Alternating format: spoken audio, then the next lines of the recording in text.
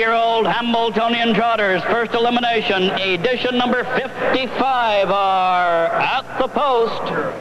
A driver for four years. After his brother's death, Tom seemed to drive with a determination to fill the gap left by Peter.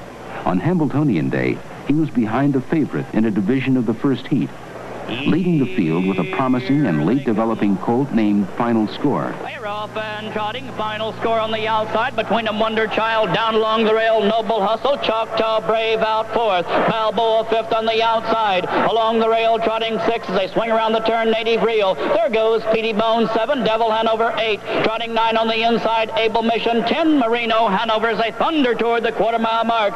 Racing with the lead. Wonder Child, but only for a moment. There goes Final Score. Powering past the leader. He leads it and coming on.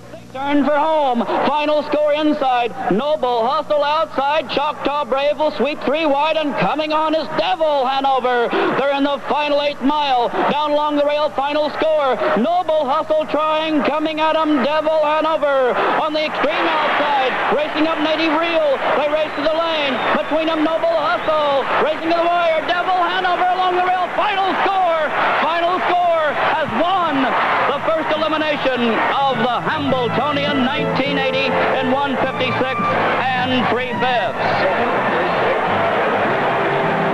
And with that win, Tommy Haughton becomes the youngest driver ever to win a heat of the Hambletonian. He's 23 years old.